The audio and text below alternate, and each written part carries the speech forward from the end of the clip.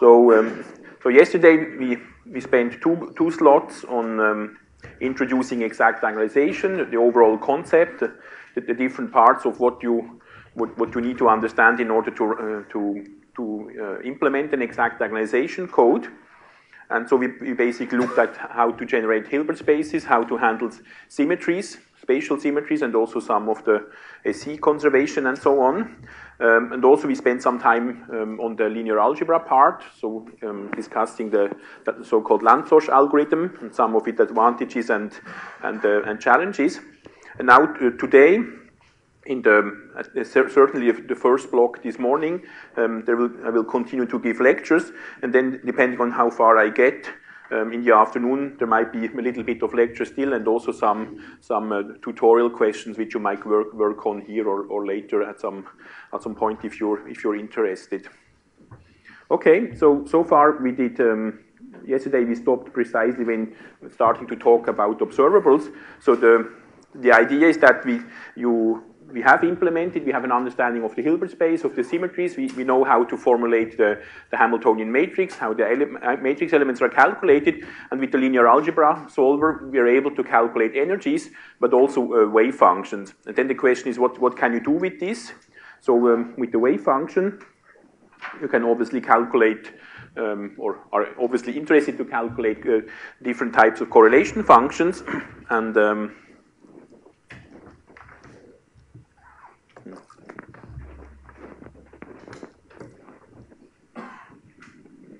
anyway. So different types of correlation functions. These are just slightly more complicated uh, ones than usually. So that, the one on the left is a, is a dimer-dimer correlator. So this is a four-point uh, spin correlation function where, where um, the bond I and J, so it's the first pair, is contracted to a singlet and S, K, and L, and then it's a connected correlation function. Therefore, here you subtract the disconnected part. And then that's what, what you get out once you have calculated it. So the blue is the reference bond. That's like the bond ij, which is kept fixed.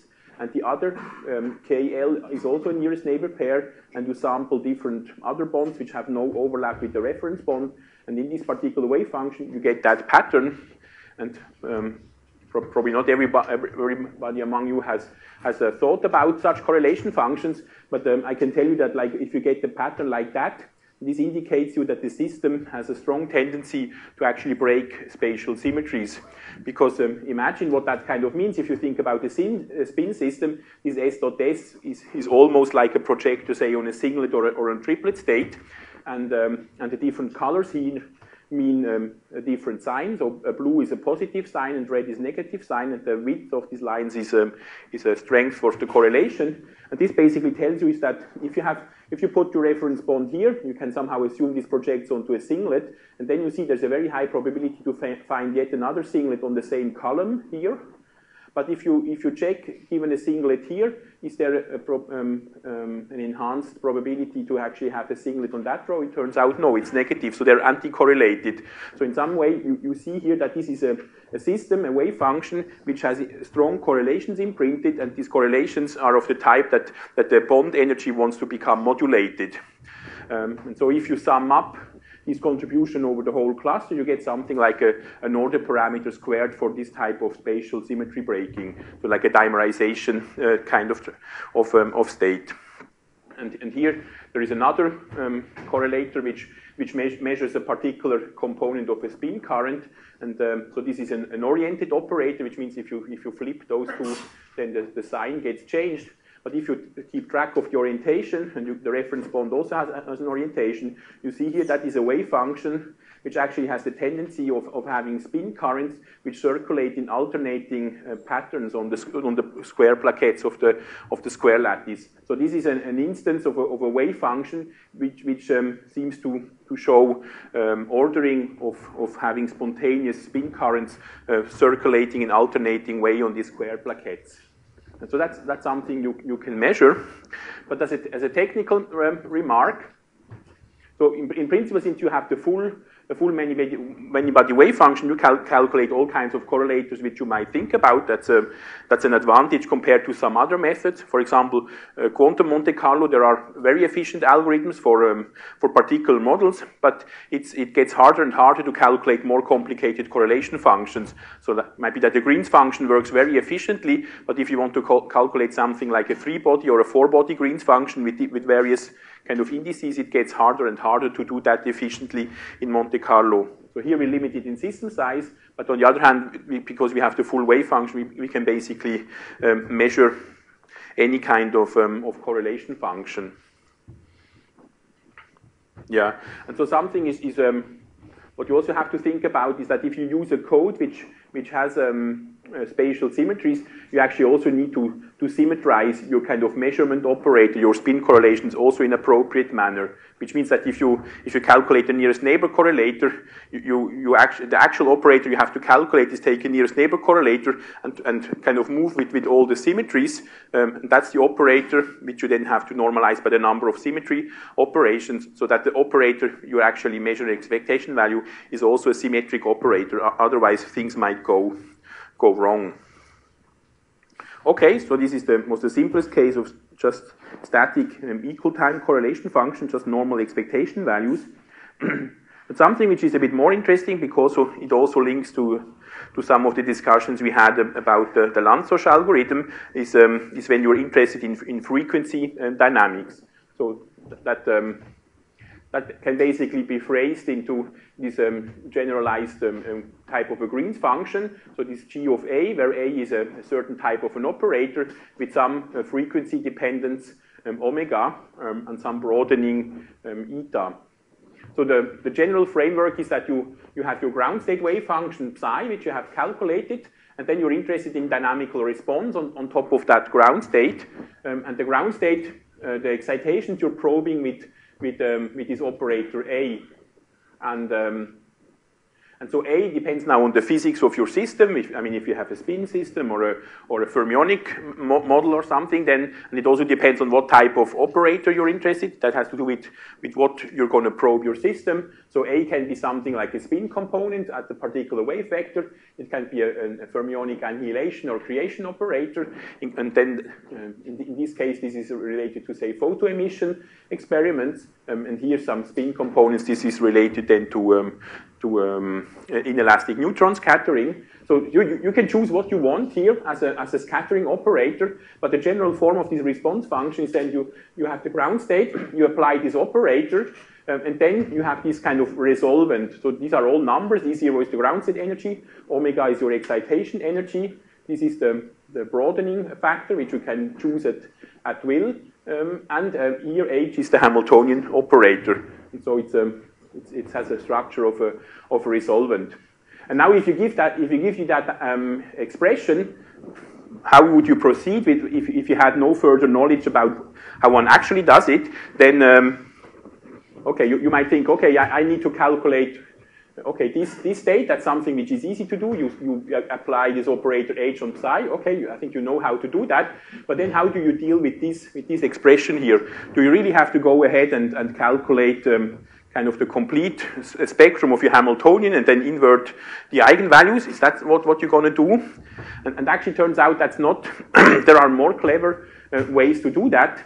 Um, and, and, it now links to these um, ideas of the Krylov space we have discussed yesterday. And now there is also, uh, it becomes clearer why in this Krylov um, algorithm you have a, a, particular starting state which we discussed yesterday. So in a, I, I recall to, to, you that the, we have had this Krylov space, uh, K, K, with some index n, and, um, and it had the Hamiltonian or an operator, here we call it um, H. And then you have a, had a starting state phi, phi naught. and this is, was basically, as I said, this was the span of, of all um, of phi naught, and then h phi naught until um, h to the n phi naught. Um, and you remember yesterday in the discussion um, of the simple plain Lanczos eigensolver, we, um, we saw that there is a Krylov space, and the Lanczos algorithm is generating us um, um, a three-diagonal basis in which the Hamiltonian, up to that number of iterations, is, is three-diagonal. But actually, in these considerations yesterday, the starting state phi naught played no particular role. It, it was a random state uh, of your Hilbert space, and was so, supposed to be um, non-orthogonal to the ground state, but otherwise, the actual structure of that state did not play a role. But, but now, in this application here, um, actually the starting state becomes important. Because imagine now if we start, if we, if we choose phi naught um, as, um, as this operator A applied to our ground state um, psi. So psi is this ground state, and phi naught is, um, is then A applied onto. So this is a very particular state. This is, has to do with this scattering um, um, experiment. And, and usually A applied onto uh, psi is, is not an eigenstate typically. I mean, generically, this is not an eigenstate. Um, and now, what you can see is that um, um, that's very nice. And if we now um, um, basically uh, three-diagonalize the Hamiltonian H by a Lanczos process, um, this really means just uh, um, three-diagonalizing the Hamiltonian. So we start the Lanczos process with this particular starting vector, not with a random one, but, but with this one. And then um, the Lanczos process, as discussed yesterday, will generate us um, um, um, uh, a three-diagonal matrix.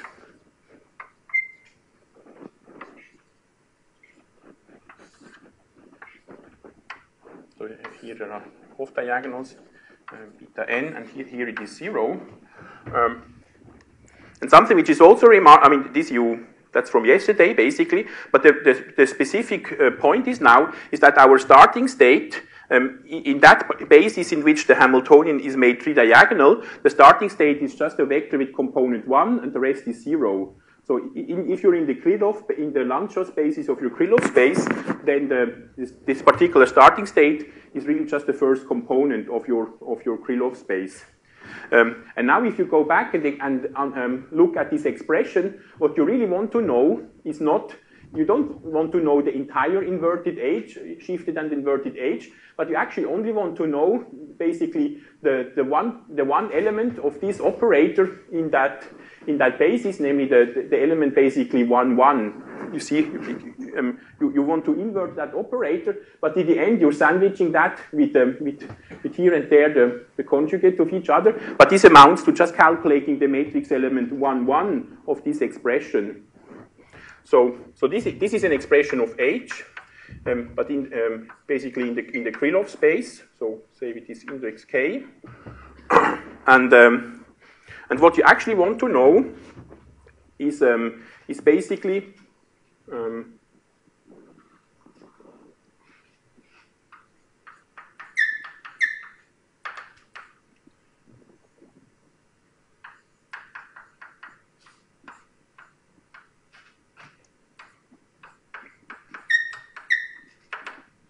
so um, so what, what I mean here is that the starting state in, our, in this basis in which um, H is three-diagonal, um, the starting state is just the, uh, the, the, vector with only component 1 set to 1 and the rest is 0. And, um, and, and, this is the, the bra of it. And this is the expression, so these, these uh, numbers like E naught plus omega plus I eta I call Z. It's just a complex number. Um, and so I have I, the, the, the, operator here is C minus H um, constrained to the Krylov space to the minus 1. And this basically just means that this expression is basically just the element um, Z minus H to the minus 1, and then it's just the, the element 1, 1. Do you, do you follow so far? So, so it's, a, it's, a, it's a particular choice. So what we're doing is that we're taking this, the state um, um, a very particular starting state. We're building the Krylov space on top of that particular vector. Um, we get the three-diagonal matrix because we can start the Lanczos process with any state, so we do it for this one. Uh, and this, in this uh, Krylov space, which is generated on top of that starting state, the matrix is three-diagonal.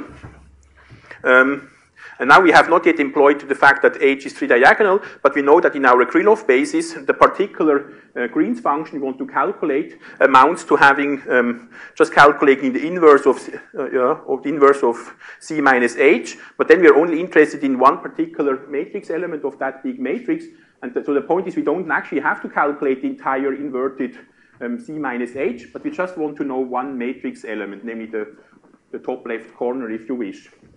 And now, um, so that's one step. And then the next step is that to, to now recognize that, that C minus H um, is still three-diagonal because it basically just amounts to, um, yeah, I mean, to, to, put everything a minus to, to, to negate um, H, and then we, we, on the diagonal we just put the Z, C minus alpha everywhere. So that's then C minus H.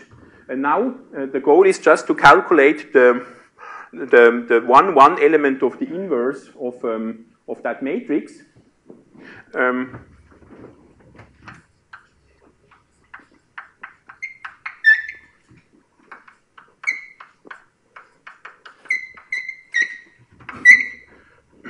of, um, of C minus H.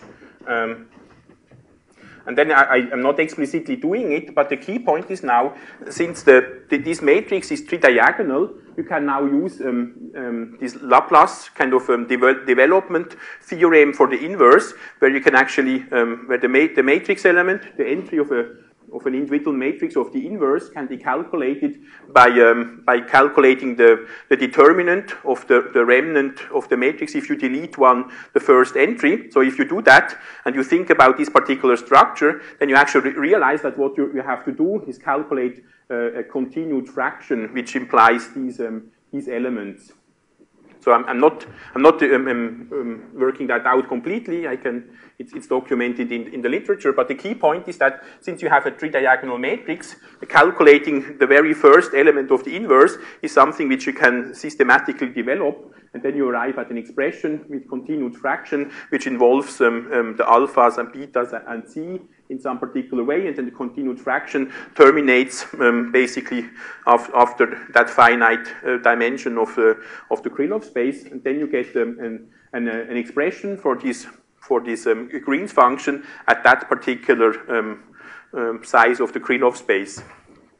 And so you, you see now that, that um, the, the fact that you have these Krylov algorithms available is a very powerful tool, because as I said, if you go ahead uh, naively, you would think okay, I'm, I'm, having a representation of A times pi, but I really have to invert H, and for that I basically have to know all the uh, excited energies exactly, and then um, because you can also write down something like a Lehmann representation where the spectral function is then basically the, the same as having the overlaps between your A times psi with all the excited states. So that, that then becomes obviously very expensive. You really go ahead and calculate all the excited states um, exactly and you cal calculate overlap. That's very expensive. Here you see that's actually not, not required using this, this um, um, nice Krylov approach and exploiting this, this algorithm, you actually get um, um you get a rather cheap expression for this, um, for this spectral function, and that really um, is the key why we can then calculate a spectral function.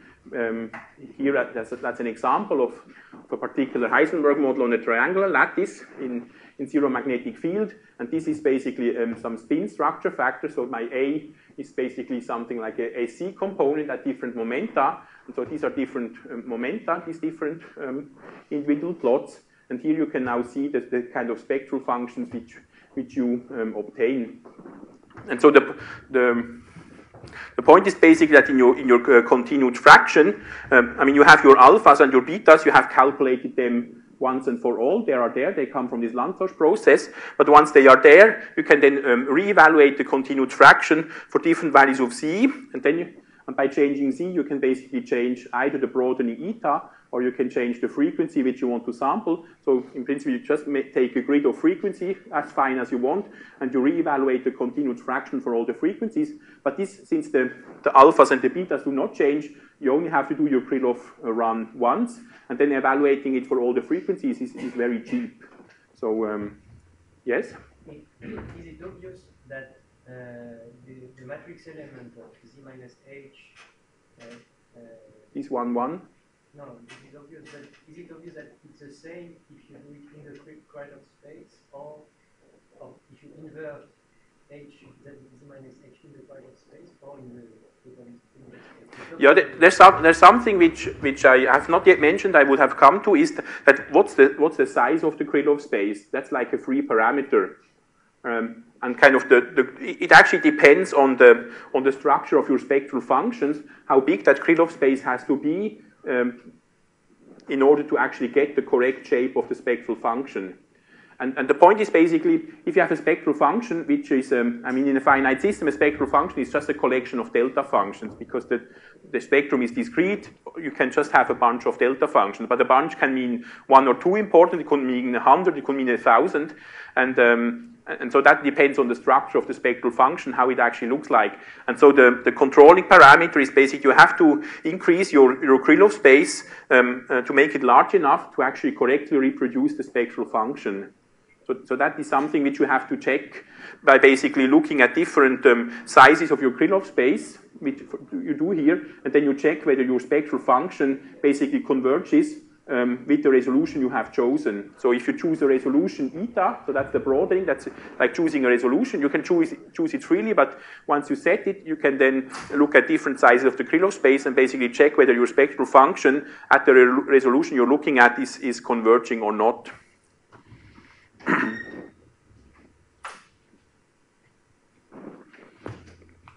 okay, so that's um, that's something, and um, and actually something which is also interesting and it will have to do with the real-time evolution. I'm just going to discuss on the next slide. Um, something which is also interesting is that these techniques can actually also be used to calculate basically the, the overlap of an initial state with, um, with a Hamiltonian. Because if you're interested in time evolution, then um, you might want to know if your initial state, which is which is not an eigenstate, typically, if you're doing some quench experiment, you would like to know whether in, how an initial state decomposes on the on the eigenspectrum of the Hamiltonian by which you're integrating your system in time.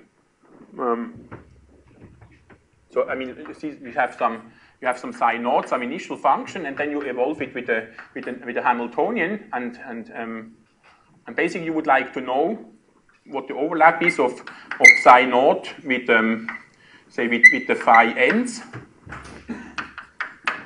where, where, um, where, where, where, basically phi ends are eigen, eigenstates of, um, of the Hamiltonian by which you're, you're propagating. and, and again, I mean, you would like to, to know this. Um, and the question is, how would you do that? Again, I think the simplest way is just to calculate the spectrum of H, calculate its eigenfunctions, and then you go, you, you, you loop over all eigenfunctions, you calculate the overlap, basically as it's written here. But there's again a, a way how you can do that by actually um, taking phi naught as a starting state for a Krylov run. So you take, take phi naught, you do a Krylov run with, the, with your new Hamiltonian on top of, of that one, and then uh, by doing basically, having basically no scattering, just uh, taking phi naught this initial state, you get h, and then if you calculate kind of the, the resulting uh, spectral function, the resolvent on it, you basically get the spectral distribution, which means you get the curve, which, which has peaks, at the energies um, and with the weight which corresponds to the overlap of that. So you get an energy resolved decomposition of your initial state in the basis of your, of your Hamiltonian by which you're propagating. And so you can basically see how broad um, your initial function is, is, is um, distributed over the eigenlevels of the, of the Hamiltonian by which you're, you're propagating. And that's actually also quite useful because, um, again, I mean, these Krylov type methods, they are um, comparatively expensive as like, um, like uh, Lanczos runs for ground states, even though you're talking about excited states. And so that's, that's quite nice because you, you, can use these sparse matrix techniques and with a few hundred or perhaps a, a thousand iterations or so, you, you, get already a very good idea how your, your starting state is decomposed in the eigenbasis and then you, you, get, uh, you can develop a physical picture out of that. And it's clear that for Hilbert spaces of millions, it's impossible to calculate all eigenstates and calculate the exact um, overlap uh, state by state. That's not possible, but with this um, Krylov technique, to kind of do the Krylov run with, with this um, non-eigenstate, you, you're actually able to learn something about these overlap distributions, even for Hilbert spaces, which are larger than what you can deal with with exact full uh, diagonalization. You have questions so far?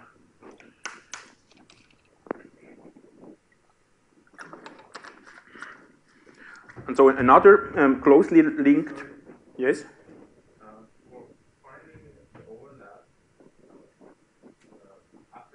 Construct the H, H, I mean the Krylov space Yes. for psi zero, uh, what is the, what is the, what's the next step after constructing the Hamiltonian and Krylov space? you know, if you have uh, constructed the, the Krylov space, you have these um, alphas and betas, um, and then um, then you have to, to write down a continued um, uh, fraction, and this has to do with the fact that you're developing. There are linear algebra formulas like how how to develop um, the, um, an element of the inverse of your matrix by doing consecutive. Um, determinant calculations where you delete rows and columns out of your matrix, and if you're applying these ideas to this particular form of, of with a, of a three-diagonal matrix, um, if you do that, then you realize that you're actually um, getting a continued fraction. So like a fraction, like 1 divided by, and then 1 plus, and then the, the, these um, alphas and betas start to enter, and so, so you get a continued fraction, and it stops once you have you, um, at the level um, n co corresponding to the size of the Krylov space. So, so there you're using the explicit form that your matrix is three-diagonal and not a general one, and then you can actually kind of by formally on paper you can develop um, that the form of that matrix element of that one particular matrix element of the inverse by doing um, um, uh, kind of a, a recursive evalu evaluation of, of determinants, and then you realize that that um, kind of um, turns out to be a continued fraction involving these, these elements of the three on the three, three diagonals of your matrix. And so, and so um, a continued fraction in the end gives you a number because it's, a, it's a continued fraction which involves these numbers alpha, beta, and c. And if you evaluate it, you get a number. And that's, that's then basically the, the value of your Green's function at the value of c which you have chosen. And you can and then you choose another value of c, maybe choosing another frequency. You reevaluate the continued fraction, gives you another number. And if you do that for many frequencies, you get this continuous curve like it is plotted here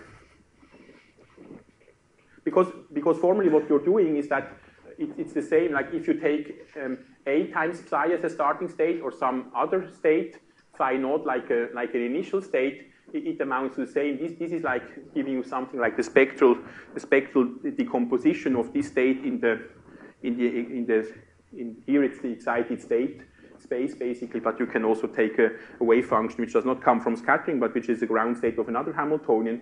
And so doing these type of spectral functions for time evolution amounts to the same thing basically.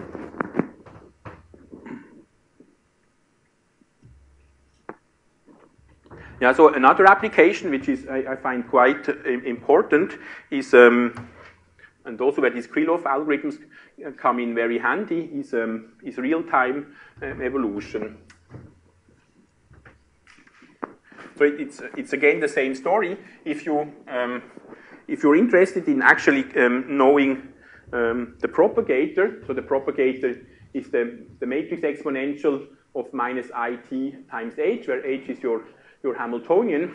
So if, if you want to go at any instant to any time, the obvious approach is to, to uh, take your Hamiltonian and completely diagonalize it. Then you can exponentiate your propagator in the eigenbasis, which is the exponential of all the, the, the, energies times, times t, and then you go back into your basis, and then you have the propagator for all times.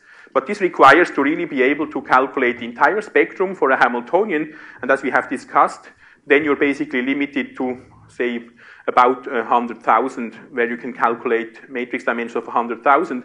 There you're able to calculate the complete spectrum. But if you're working with a, with a Hilbert space of millions or billions, this is clearly not possible.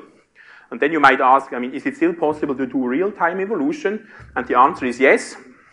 So if you give up the fact that you want to know the complete propagator, where basically you can put in any time and you can put in any uh, starting state, whatever, but if you're willing to give up that and don't just focus on the on on a on a uh, initial state you choose, and then doing a time evolution for some time interval, uh, then there are actually these Krylov methods available where you can propagate um, a, um, a, wave function you chose as initial state in time by co consecutive time um, um, interval boosts, basically. And that also re relies on Krylov techniques. You, you, see that these Krylov ideas are, are really quite, quite powerful. and so the so here this is, this is uh, just an application, but I can give you another um, uh, sh short um, idea. So here now the, the idea uh, in that particular state uh, um, is still that we, we, we build a Krylov space, but phi naught is then really kind of our uh, psi naught, that, that, that's the initial state the initial state which you want to, to propagate. Um, so uh, psi naught, that's our initial state, and that's then kind of phi naught, because phi naught was my convention to, to label the Lanczos vectors. So we, we choose a particular initial state, that's the initial state of our quench dynamics. We build a Krylov space of a certain size, um, and then, okay, we, we, now remove the signs and the z's again, so this is just the, the, the standard Lanczos um, form of the Hamiltonian in the Krylov space. so that's the Hamiltonian. And now the idea is again uh, quite simple. Um, our, our, initial state in the Krylov basis has, has this uh, uh, form.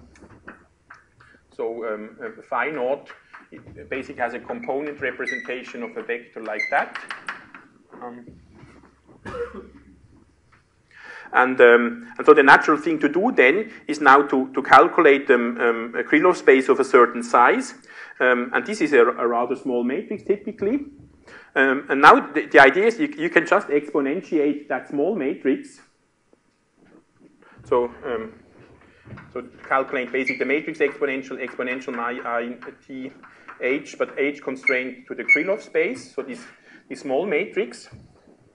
So we, we call that like u of u of t again constrained to the Krylov space. So that's a that's a small matrix. So if your Krylov space is is 20 vectors, which you have which you have chosen, then then this matrix here, which lives in the Krylov space, is, is a 20 by 20 matrix. And calculating this this matrix exponential is straightforward for a 20 by 20 matrix. That's no effort. So so you can do that. And now since um, and now you can see since the starting state, I mean, what you want to do in the Krylov space is then to, to apply um, this propagator u of t constraint to the Krylov space. You apply it onto, onto that, our starting state. But since our starting state in the Krylov um, uh, base is, is, um, is trivial, it's just the first component, you're basically applying that to, to the vector 1, 1, with, rest all the zeros, and then you basically see you're, you're, just getting the first column of your propagator is the linear combination of your Krylov vectors in the full Hilbert space. That gives you the time propagated um, uh, state. So this basically means that, um, or, or, you're getting the first, um, just the first column basically of um, of this U. So it's U um, U1 um, 1, and then U1 2, and so on.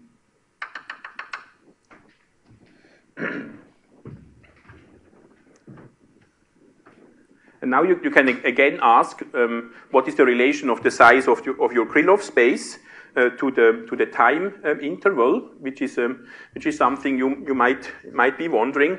And actually, turns out that mathematicians have really proved the uh, the, um, the, convergence of these algorithms. So it, it actually turns out that that if you, if you fix a certain time interval, so you take a starting state and you say you take a given time interval by which you want to propagate your wave function, then you can actually prove that the convergence of the quality of your propagated wave function is exponentially in the size of the Krylov space, which basically means for, for each time interval, uh, there, you can basically converge the, the, time integration by making the Krylov space uh, sufficiently large. And now you might wonder, um, what does sufficiently large mean? Um, and that actually turns out, like if you're doing some, this is a, this is a many-body quench of some Bose-Hubbard model, where we, are comparing also to time-dependent DMRG. But, um, but the point here, here is you, you basically want to sample the dynamics, and so here the time steps are, are rather short, something like a, a few parts of, um, perhaps um, um a few parts in 10 to the minus 2 or so. Um, and then, so these are rather short time intervals, and then it actually turns out that the Krylov space you need to generate to be extremely precise for this uh, time interval propagation just amounts to a, a handful of Krylov vectors, perhaps five or ten or so, and then you're already converged. And then, however, if you make the interval larger, if you directly want to to jump from basically from zero to one, then it can actually require a, a lot of uh, iterations, something like 50 or 100 or something. But even that, that is, is in principle feasible. You just have to make your Krylov space large enough. Um, and actually, there's also um, a kind of a truncation criterion, um, which I think is, can also be uh, made quite intuitive. So the idea is basically, um, you see here the time propagated uh, vector in the Krylov space of your, of your starting state has this representation. And what you can basically check is whether the last, uh, the last um, uh, component here of your time propagated vector in the Krylov space, if these components here start to become smaller and smaller, this basically tells you that, that if you're expanding your Krylov space, you're not adding something substantial anymore because if basically your, your time propagated wave function in the Krylov space um, does not profit from the Krylov space getting larger, the result is basically converged for that time interval which you have set. And so there's a, an, an, a, an, um, an intuitive criterion somehow to check for, um, for what is last time propagated um, element of that vector is actually doing as you make your Krylov space larger, because Krylov, making Krylov space larger means this, this, vector gets longer and longer, and if these components down there start to become smaller and smaller, basically tells you that even if you make the, your Krylov space larger, it does not make your calculation more precise because you're converged for that time interval. And if you make your time interval larger, basically means you will probably will have to, to blow up your, your Krylov space. But that's some, it just tells you, the, the message is that you, you can formulate a, um, a convergence criterion, like having a, a, a, very accurate representation of a propagated wave function, and then, then you run your, your Krylov algorithm. I mean, you, you do um, matrix vector multiplication, and after each ma matrix vector multiplication, you basically check because this is inexpensive, you can basically check what is the last component in that vector, and if you see that this last component of the vector is basically converging to zero, then you actually can stop if it's below your co convergence criterion. And then you're actually uh, guaranteed to have made a very accurate time, time integration. Yes?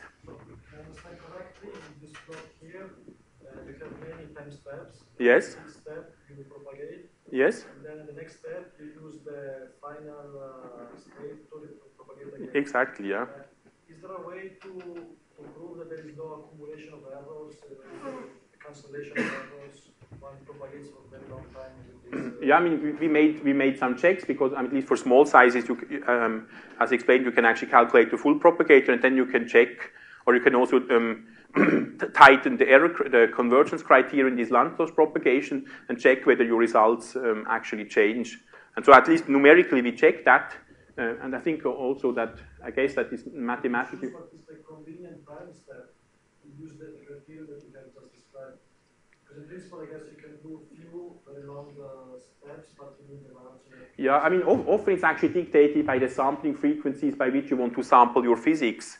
It depends on what you want. But, but it's true, I mean, uh, if, you re- if really you, you somehow want to make a long boost in time, I would be a bit careful. So one, one should probably check if you're doing like a, a time step of 10 or something where your initial, where your kind of frequency, natural frequency in a Hubbard model is actually like, like u, which is very large. Perhaps you should really check whether everything's working fine. But, but here, here you somehow want to resolve some oscillation phenomena, so somehow we have to sample, just measure sufficiently frequently in order to resolve the dynamics just kind of by Nyquist theory, meaning to sample large enough. So, but if you're not interested in actually resolving that, you can also take time steps which are larger.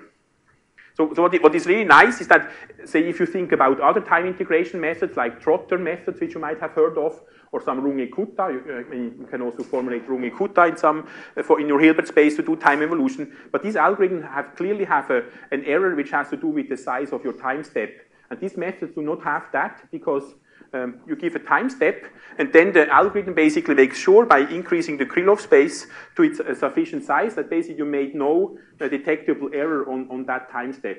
But of course, the, um, the larger your time step is, the more effort you have to work, but there is no, there's no time discretization error. If your um, kind of error criterion is tight enough, there's basically no, no time discretization error. That's also nice because then you don't have to make runs for different kind of time steps and so on because you to take a time step, and then if you're if you're um, following this error criterion, then you, you're guaranteed basically to have accurate results, and there's no trotter error or something like that. yes. Uh, does, does this method uh, depend on how highly excited my initial state is? So. Yeah, it has a it has um, an impact. Um, because something which I, actually is not so well known, but I, I can tell you, is that um, uh, both basically um, I mean, basically what you're doing, um, if you're calculating this Krylov space, um, um, the, the, the Lanczos values here, these alpha and these betas, these coefficients of the T matrix, they actually have a physical interpretation. That, that's perhaps not known to, to a lot of people. Although if one says it, it's actually obvious. Look, like, I mean, alpha zero, if you think what that means in the algorithm, it's basically the expectation value of your operator H in your starting state. So alpha zero is actually the mean energy of your starting state, of, or of whatever, of that state. If you do um, um, Green's function, it's basically expectation value of your excited state is A times psi, which you have generated. And if you do quench dynamics, it's basically the mean energy of your, of your starting state. But then you can work ahead and actually figure out that beta is actually related to the variance of your, of your initial state. So you can figure out basically how broad your energy is fluctuating in, um, kind of in terms of a, as, a, as a second moment of your, of your state. And that's also an, an, something which is nice um, if, you, if you actually start to make a run with an eigenstate of your Hamiltonian. You can also ask what's happening if, you, if, your, if your excited state or the initial state is an eigenstate. It basically means that you, you start with, with alpha, you get the mean energy because the energy is finite, but then actually beta 1 will be 0 because it has no variance, it's an eigenstate, and then your Krylov space is actually exactly uh, closed because it's an invariant subspace in principle, um, and generically you do not expect it to close it before reaching kind of the, the Hilbert space size, but if you have an eigenstate or if you have an invariant subspace, the Krylov algorithm will, will, actually stop exactly after the size of your invariant subspace, and an eigenstate is obviously an invariant subspace under your operator, so then you're done.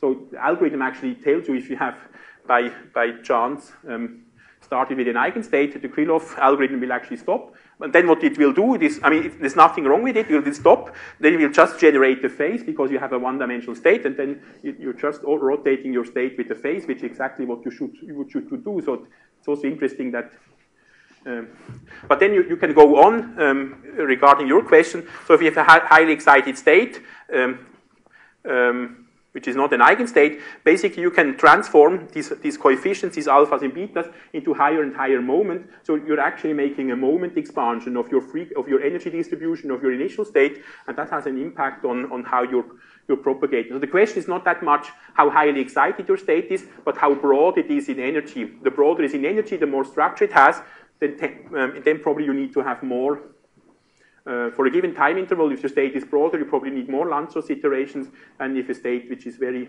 only few frequencies kind of contribute, then you probably can, can keep your Krylov space smaller. But the nice thing is you don't have to worry about that. If you use this convergence criterion, which I have discussed here, then it basically, um, the algorithm um, kind of finds out by itself whether it has to do a lot of iterations before converging for that given time step or whether it will actually um, um, stop earlier. So it, that's actually something I, I, really like is that if you do all these things properly, uh, this, uh, this Krylov time step, uh, this Krylov time evolution is really a kind of a workhorse which, which you can implement without worrying too much. I mean, I mean, you have to implement this, this convergence criterion, obviously, um, but I like, I like that, that this is the only knob you have to, to put, and then it actually works really quite, quite reliably. Um, and there are other methods which I, I don't want to describe, but which go under the name of Chebyshev methods. I think they are also very, very efficient and very, very powerful. But um, but there, for example, you need to, to make some mapping of your initial Hamiltonian, which has, a, which has a certain bandwidth, onto some interval, basically, of energies between minus 1 and 1. And so basically, you always need a first estimator of, like, what is the bandwidth of your Hamiltonian. And this can all be done. It's not impossible, but it's just you, you first have to figure out what your bandwidth is. You have to map it onto an interval. And if your mapping is not exact, this might induce some additional overhead, which, which you don't, perhaps don't, don't want to um, to do. So in that sense, I, I, find this Krylov time evolution method really quite flexible and, and, really a workhorse tool to do all kinds of like spectral decompositions, real-time evolution, and also the spectral functions. So it's really, I think this is a very powerful, a very powerful uh, concept. Yes? What if we have a severe limitation on n because we need full spectrum of the HK, uh, Krylov Hamiltonian? Yes? I mean, you, you can choose n between in less than 16 or No, no, you, n can be 100 or so. Yeah, yeah, but but full solver. I mean, these full solvers for matrices up to uh, in principle up to 100,000 can be done. Obviously, you don't want Krylov spaces of 100,000, but Krylov spaces of 100 or a few hundred. It, I mean, numerically, it's immediate to calculate the spectrum of a 100 times 100 matrix. Like two to the power of 16. I Uh, yeah, okay, yeah. hmm No, no, this is really close. Here there's nothing exponential of your physical Hilbert space. This is just um, the size of the Krylov space, which is. yeah, and just as, as an, a real-time um, example, so he- here I'm showing um, just some, some spreading dynamics, which we have calculated using the Krylov method. So what we're doing here, this is a, a Heisenberg Hamiltonian, uh, but we're actually working in a, in a sector where basically we're having all spins up, apart from one spin in the center, which we have flipped down. And so this is not an eigenstate, um, but it's actually a superposition of all these spin flips of a ferromagnet with one flipped spin. Uh, its initial, initial state is localized, and then we let it evolve, and that's basically what you get. So I don't want to discuss the physics, it's rather simple, but it's just an example where, where um, in, you, can also do that uh, in principle on um, uh, using full diagonalization, but you can also scale that up, and there's no, you see, because this uh, basically 200 times 200 gives you something like 40,000, I think.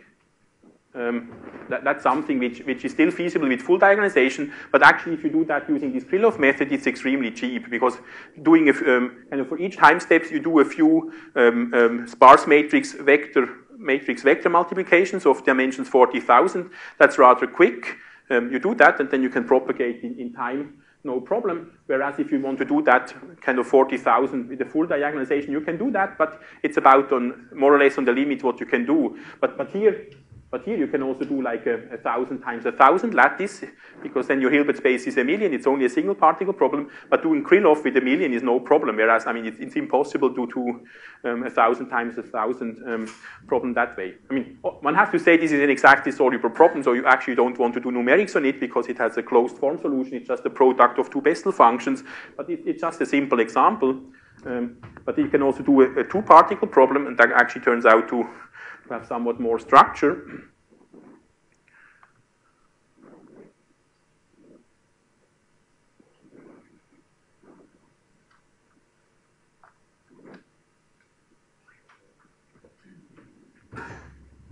So what, what's happening here now, here it's the same Hamiltonian, it's a Heisenberg Hamiltonian, and the initial state is two flipped spins which are on the nearest neighbor bond, which is oriented in the x direction. So the initial state is just two particles nearest neighbor, so two flipped spins in the middle, um, and that, um, and then the left plot is just the SC profile, so basically where are these two particles moving in time, and then you, you can see it has a particular form, and, these two are two other observables where it's basically projecting the wave function onto two neighboring spins um, at, at later time. And then what you, what you can, can learn from that plot is that the, um, kind of this initial, this single particle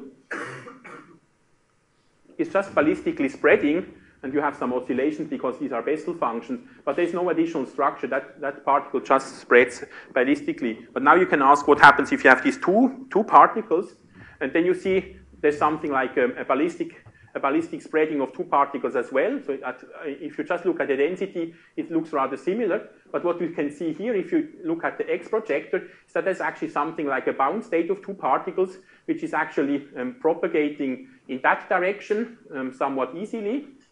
Um, but it's actually not spreading in that direction so much. You can see, I mean, you see that the bound state, because in the projector you really need to have two particles close by, otherwise you, you, you don't get anything. But it's actually intense mostly on that line, so it's actually not spreading that much in the in the vertical direction. But it, this bound state is mostly propagating uh, in a counter propagating way along along this um, the horizontal axis. So it seems there is something like a bound state um, so that your, your initial dynamics has a part which is ballistically flying out. These are like single particle excitations, which are not that much correlated. And then there is a bound state of two particles, which is also a fraction of your wave function, which actually seems to fly out, but, but um, directional in one, in one direction. And this is also a nice application of, um, of, um, of this Krylov, uh, Krylov method. And here you can see this is a 60 by 60 lattice with two particles. So here the Hilbert space is already um, significantly larger, uh, but still you can do that with Krylov, whereas if you want to do that with full diagonalization, you might reach your limits at some, at some point. And you can go significantly larger with, um, with this Krylov method. Okay, are there questions on this um, integration? Yeah.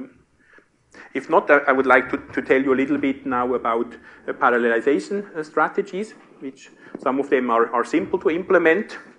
Um, so you might want to hear about that, and then I'll sh also show you a bit what you have to, to think about if you're doing um, large-scale uh, parallelization using uh, distributed memory techniques.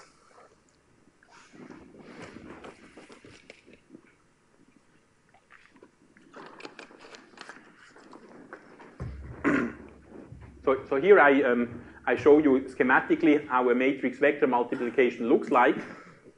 So as, we know in the Lanczos algorithm, you just, um, the Lanczos algorithm just requests us, uh, given some input uh, vector u, to apply h onto it and to deliver back uh, v, which is the product of the two. And now the, the question is basically how do you actually parallelize that? Now, um, we have a lot of, of uh, shared memory machines, so multi-core machines where the memory is shared, where memory access is not the problem. You don't have to, to uh, do particular programming for that. Um, however, we have multiple cores at our disposal, and the question is now a bit how, how actually do you um, parallelize such a loop? So it's, it's a rather simple consideration, but there's one way to make it wrong, and therefore I, I want to put it out. So one thing is basically you could, you could say I basically um, reserve one part of my starting vector here to be one core, this is another core, and so on. And then you can ask, um, basically, should I um, basically apply then only a part of h that one, on, or, or, or, that part here onto that? But then it actually turns out, um, if you do that, if you basically um, distribute over the u vector for the, the, different parts to different cores, then it actually turns out that if you're calculating results, you will actually interfere on the result side because different parts of your source vector, when applied onto H, they get actually spread over all over V. And that's a problem because then two cores, two, two um, uh, threads, actually might uh, write and update the result in the result vector at the same time. And you have to uh, forbid that because if both are writing at the same time, there's a danger that one of the two results is getting overwritten by the other. Um, and so you have to synchronize access to the result vector. Uh, but that slows down things because you, may, you have to make sure that there's exclusive access to, to updating these memory cells. So that's not what you want, especially because there's a simple other solution, which actually distribute your, your problem over the result vector, which basically means that, that each, each core is responsible to calculate one part of the result vector, and so you, you clearly discriminate that, so there's no interference on that level. Then, then um, core 1 um, somehow calculates the matrix elements in here. It's a sparse matrix, but still kind of all sparse matrix elements in here are calculated, and all of the cores basically will, will, uh, will read matrix uh, um, elements from U, but this is not the problem because read can be made concurrent. Like uh, it's not important which thread reads the, reads the element in U first because they're not altering it. It's really always giving the same result. But it's just a simple remark, but you have to worry about that. If you're kind of parallelizing your for loops the wrong way, your results might actually be wrong. But if you parallelize over the right, the correct loop, um, you have no problems and it, it will be, be a, a very good uh, speed up by doing that.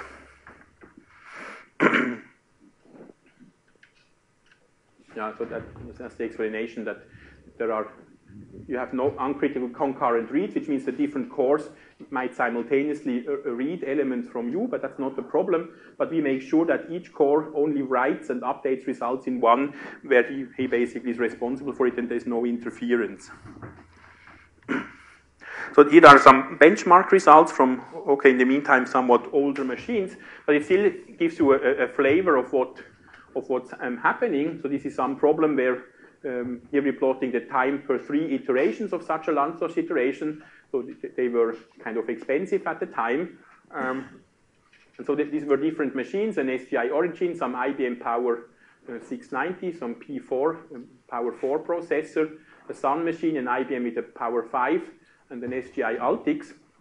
And it's just interesting to illustrate that this was every, every um, all the time it was the same code with the same parallelization strategy, but there were machines like this black one, um, where and also the the gray, uh, the the brown one here, where the speed up was actually not that good, which means that although the code is is, is uh, very nicely parallelized, actually the hardware is not able to keep track of, um, or is not fast enough to deliver the memory we're, we're, reading and so on. And so if you're using more threads, it's actually not speeding up that much.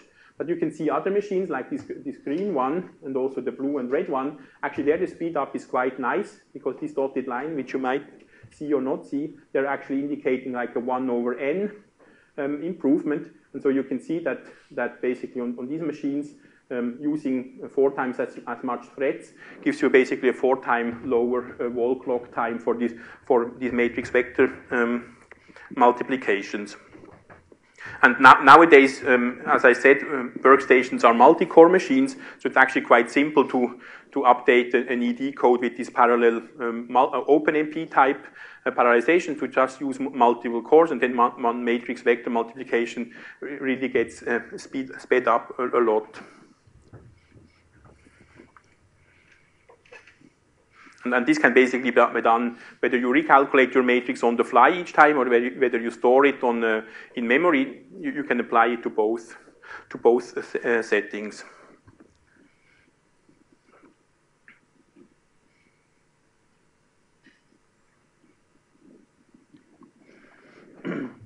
um, so obviously the, the, problems we have described somehow assume that, um, that you can write down the whole Hilbert space and the Lanczos vectors, that they all fit in the memory of your workstation or of your shared memory machine. So, so typical sizes nowadays can be uh, say a few hundred gigabytes, that perhaps what a fat workstation or a compute node on a shared memory workstation um, um, typically has. Um, and that, that, puts you a, a limit on, onto that. Um, and then there's a, a simpler um, extension to that. If the problem still fits on memory, but somehow you have a, a, large number of matrix elements, so that's typically when you when you say if you do quantum chemistry-like problems where the Hamiltonian is like a four-body a four-body uh, um, um for fermion interaction, or also quantum Hall problems, as I explained to you yesterday, they somehow have like a, a number of matrix elements which scales with the th third power of the number of orbitals. Uh, even though the Hilbert space is not huge, the number of matrix elements is substantially larger than in, in the nearest neighbor spin model, so the actual number of matrix elements to process is quite large. So in, in that case, we can actually use a, a, a hybrid, a hybrid parallelization, which basically means that um, we're now distributing our problem over different nodes. And on each node, there is, um, on each node, we actually keep a copy of our U vector, the one which the Lanczos algorithm gives us as an input. But on each node, um, we can, on each node, we now apply a part of our matrix onto that vector, which we keep completely, and we only calculate one part of the result vector. And if the node by itself is a shared memory machine with multiple cores, we, we can obviously slice that into more cores on, a, on, a, on, the same node in the same way as I described on the previous slide. But, but here, uh, between that one, there is no shared memory, so that's an, a different node with another uh, chunk of memory. And on that one, um, the node 2 just calculates one part of the result vector. And so th these calculations at that step are completely independent. And what you then do after each of these nodes is, has finished its task of calculating a part of the, of the uh, u vector, the, the result, sorry, the v vector, the result. Then you do a, a broadcast uh, call with, uh, with MPI, which basically this has the task to actually send the result of one and to broadcast it to all the others. Then all other nodes know about the result of one and then 2 does it, it, it, the same, and 3 and 4. And so in that way, all the nodes, um, after the iteration, there they know what V is, and they have their local copy of it. Uh, and then locally, since uh, U and V are, both, are, are all then locally available, you can do your Lanczos step, like the linear algebra in the Lanczos algorithm, you can do on the same uh, node, and you can come up with a new U, with the next U for the next Lanczos iteration. Then again, you, um, each node calculates its local uh, contribution, and then you broadcast it, and then you basically replicate your problem onto different nodes. Each one only calculates a, a part of it, and then you're, you're broadcasting the result. That's also quite, quite efficient. But again, the limitation is that the entire Lanczos vectors actually fit onto your memory. So this is more for applications where you have a lot of matrix elements, but not yet really huge Hilbert spaces. and so this is a, a scaling example of um, um, so-called strong scaling example. So strong scaling means that we, we, we, always take the same physical problem we want to solve, but we increase the number of processors. That's, um, that's a strong scaling. Whereas weak scaling would be that you, you actually increase the physical problem size while increasing the, the number of processors. So that's not what we're doing here. Um, so this is a particular problem of some um, fermion problem formulated in momentum space. Therefore, it has a large number of matrix elements. Um, and, um, and here you can see on that axis it's a number of, of CPUs, um, whereas here there's the, the time, um, the wall clock time uh, per iteration. And then you can see uh, for very small number of processor counts, you have a significant time spent in one iteration. And as you, as you um, increase the number of CPUs, the, the time for the local multiplication is really going down as 1 over n, basically. That's very good. The broadcast time also goes down initially, but then it, it levels off and it stays more or less constant or, or increases slightly, going from 500 to or 512 to 1024. So that's here that starts to saturate.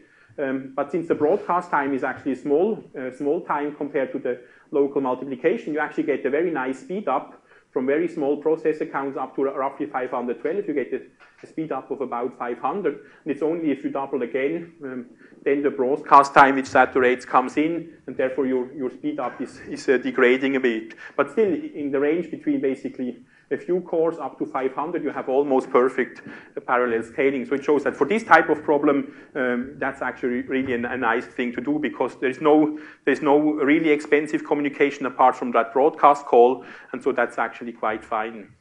Yes? So you have mentioned standardization momentum space. But what do you mean exactly? Is it uh, quantum chemistry application in the No, I mean, this particular problem is something like you, you take a Hubbard model, you, you formulate it in momentum space, so that's not necessarily a good thing, but what you can start to do is then truncate the, truncate the, the momenta which you take in the reciprocal space. For example, in the case of the Hubbard model, is there a regime where it is convenient to use momentum space yeah, the application there was actually something where, where we actually develop, uh, look only at the strong coupling physics at the so-called saddle points. Like if you think about the Hubbard model, there are there are saddle points in the dispersion where the density of states has, has Van Hove peaks. So we're basically putting a lot of k-space points around there, whereas we, we delete some of the others. So, so it's really not a real space Hubbard model anymore written in momentum space, but it's, it's motivated from a real space Hubbard model, but then we start truncating uh, part of the, of, the, uh, of the momentum orbitals and put more orbitals around other points. So it's really like more like uh, discretizing a field theory if you want, because you, you do something directly in momentum space.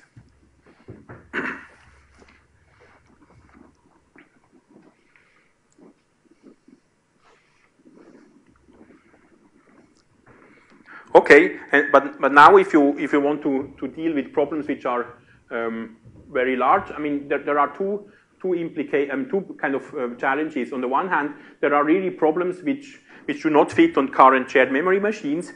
And, and one, another thing is also that, probably Thomas Schulthess told you about that in the last lecture as well, is that somehow sh shared memories machines do not, I mean, uh, we have, have these workstations we all know about, or these compute clusters in, in Linux clusters, and they get larger and larger, but still, like, um, um, if you have like one terabyte per, for such a node, it's already a huge quantity, and it's not so common to really have a, um, a very large shared memory machines. I think I have never heard about a shared memory machine, I think, which has more than 16 terabytes, but for some machine, I mean, for some problems, you might actually want to, or have to use like 40 or 100 terabytes, perhaps, and I think in the foreseeable future, there will be no shared memory machine which has that much memory. So one has to think about uh, parallelizing these codes using other parallelization paradigms, because there are machines available which have aggregate memory of hundreds or perhaps even in the meantime perhaps petabytes of, of memory, but uh, there will be basically no shared memory machine. So we have to think about to, to, um, to develop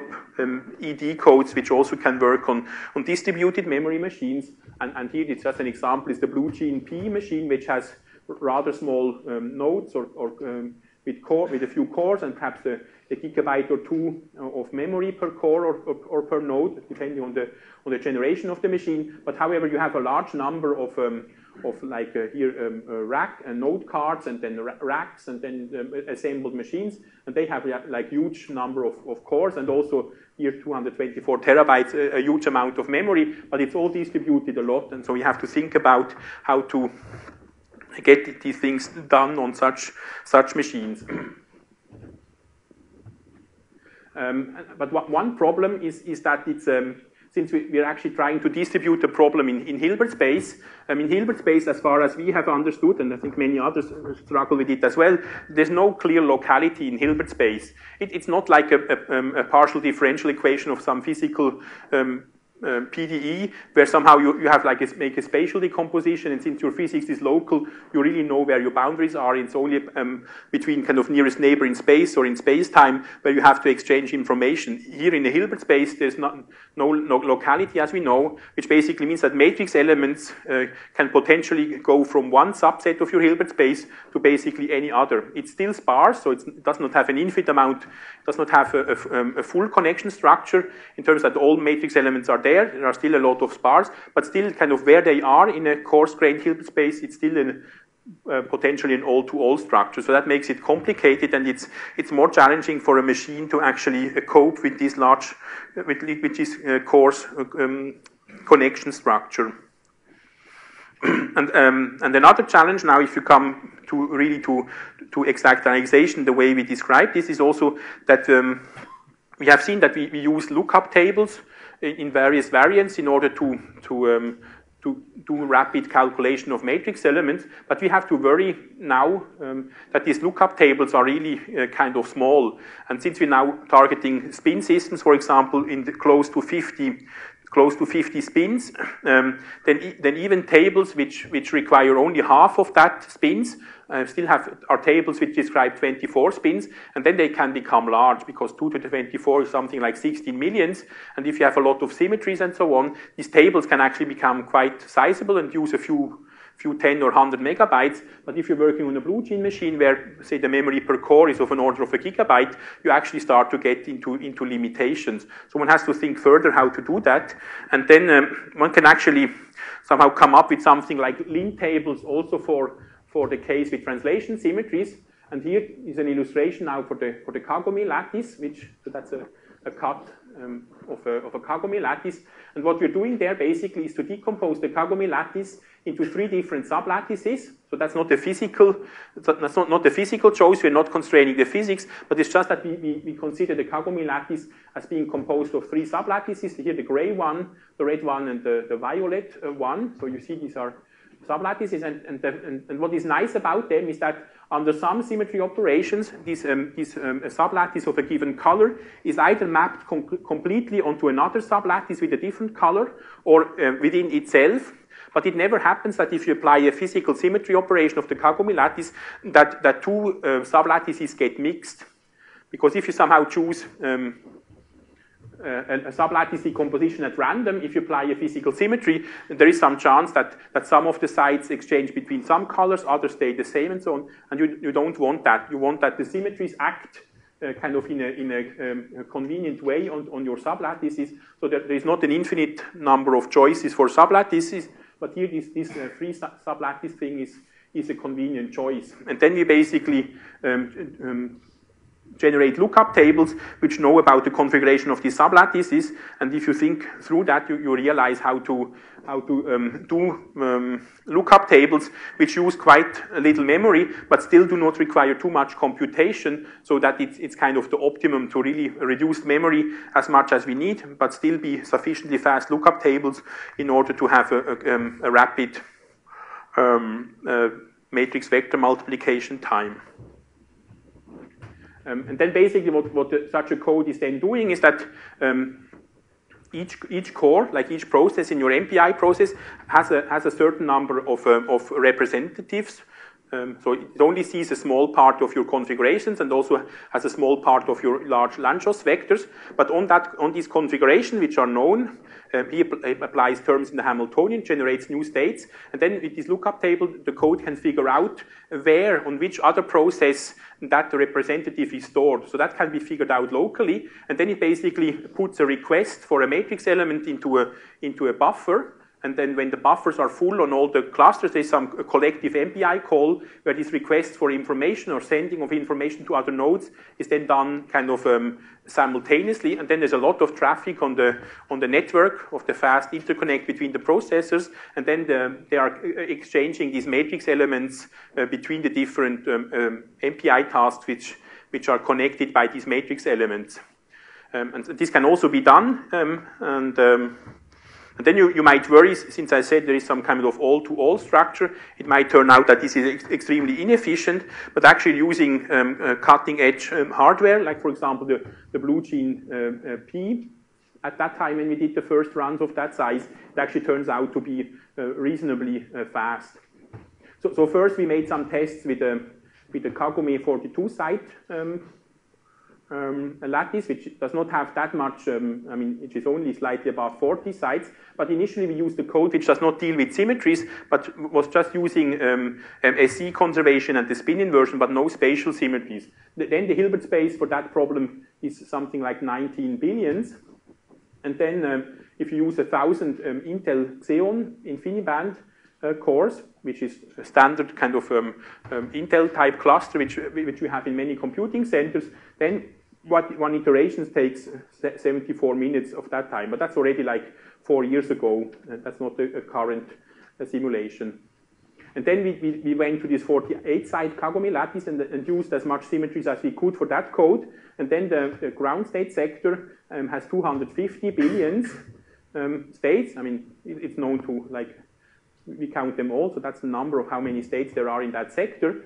And then we did different runs, one on a one on a slightly slow um, um, machine with 1600 cores, but with a NUMA 5 link uh, for, the, for the interconnect. And so here one iteration uh, takes something like 20 minutes or a bit more. That's not, not that fast. Uh, then we, we, did a test on the same machine as that one, but with 3000 cores here. And then we get um, a time of 650 seconds, so like something like 11 minutes or so for one, one iteration. And then we also ported it to the blue gene P, which has a lot of processors, but they are not, an individual core of a blue gene P at the time is far less um, um, rapid than, than an Intel. So, so there is some, so you, it's not like 16,000 Intel cores, uh, but then on that machine, because it has a nice balance between computing speed of the processors compared to the bandwidth of the, of the interconnect, then you actually get a, an iteration time of slightly less than 10, than 10 minutes. And I don't have results now for the blue gene Q, but I think on the BlueGene Q, it, it the same um, thing runs uh, substantially uh, faster. so so that, that shows you that the, this actually works. You can do um, quite large, solve for ground states of quite large eigenvalue problems the, um, that way. But something you might be worried about is um, what, what about convergence? We're, we're working in such huge Hilbert spaces, so, so is precision and round-off errors everything under control, or should, be, should we be worried? So um, something we, we did there in order to test just for consistency, which is, I guess, you understand that this is important in computational physics to make sure that everything works out uh, fine. So something we did is a very simple test, is that um, as we have discussed yesterday, the, the Lanczos algorithm basically um, converges uh, to the extremal values of the, of the spectrum. But it actually does that on both sides of the spectrum. So we're typically interested in the ground state, which means like the, the most negative um, or the, the, smallest energies, the arithmetically smallest one. But the Lanczos algorithm also uh, converges the other end of the spectrum. And since here we're interested in a, in a Heisenberg model on a, on a Kagome lattice, uh, but the antiferromagnetic one, the antiferromagnetic side of the spectrum is really complicated, and that's what we want to understand. But at the other end of the spectrum, it's the negative Hamiltonian, which, is a, which has its ground state up there, and that's basically a, a ferromagnet. But the ferromagnet has no frustration, so you exactly know what the ground state energy of a Heisenberg ferromagnet on the Kagome is. And so in the same run, where you're actually interested in the antiferromagnetic physics, you can also just check to what energy the, up, the other side of the spectrum goes, and this is the same run, so it's the same information, and then you can clearly see that the energy on the top end of the spectrum goes exactly to the ground state energy of the ferromagnet with the, with the, with the other sign, but you can really check whether your complicated diagonalization on the other end of the spectrum is giving you the correct energy for a ferromagnet, which is exactly known. And, and ob obviously our results satisfy that constraint, so that's a nice consistency check. and another one uh, which, we, which we made is, um, um, so this is a, a one particular sector in our Hilbert space, which is, which is that large. Um, and then we, did a run with double precision. That's what we typically do, where everything from the matrix element to the Lanczos vector and everything is, is, um, is done in double precision. And then, since um, actually increasing to, to higher precision is difficult, what we actually did was to scale down the precision. So what we call mixed precision here is that the Lanczos vectors were actually done in simple, uh, uh, with floating point numbers in single precision. So they have um, um, kind of an epsilon, which is only um, square root of what of double precision, so it's more like 10 to the minus 7 or 8. and uh, whereas the Hamiltonian matrix elements were still calculated with double precision, and, um, and then we, we redid the same run, we basically the same starting vector, but just with this mixed precision, and then we basically see that as long as, as there are the mixed pre precision results are, are available, uh, the, the, convergence of um, because that's the instantaneous energy as a function of iteration, they really exactly do the same thing. So we, we, really think that doing the double precision is really the physically correct thing and we're converging to the right thing. And, and if we're reducing the, the precision, um, it's not that the two, the two conversion processes start to fork and do different things. So it's really that one is just a more accurate version of the other, and there is no evidence for somehow accumulation of round-off errors or things going wrong with the, with the precision. So that's, that's actually good news.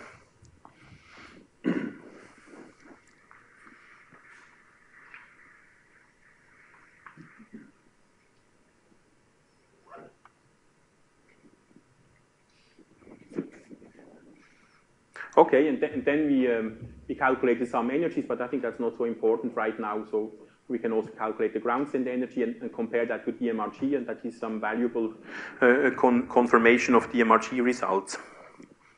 And so um, with this, I, I would basically like to, to conclude the part of, of talking about, about the technical aspects and how to implement um, the exact diagonalization um, um codes. And, and here is a, a list of literature um, just a few which, which came to the, my mind where you can find something about exact exactangization. So there are some lecture notes by Nicolas Laflorencie and, and uh, Didier Poilblanc. There are some lecture notes by Reinhard Noack and Salvatore Manmana, which also have a part on diagonalization methods. Then there is a lecture note by Alexander Weiss and Holger Fehske on exact diagonalization techniques. And there's also a chapter which I wrote um, in a book on frustrated magnetism where, where different numerical methods are, are described, but the part on exact exactangization is kind of the most comprehensive one, and this is also complementary to, to others. And what I have not written down here, but but Anders Sandvik, who was also lecturing here, uh, he, he, might have shown you lecture notes which he wrote, which is mostly on Monte Carlo and, and SSE. There's actually also a part in that with, with exact diagonalization results, which is, which is actually also quite pedagogic for, for beginners. So it does not talk um, uh, so much, I guess, uh, about very advanced techniques which, which I covered here, but if, for a basic introduction, it's actually quite, quite valuable as well.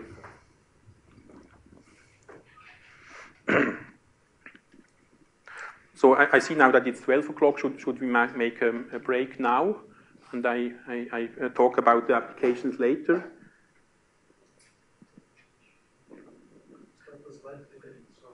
Yeah.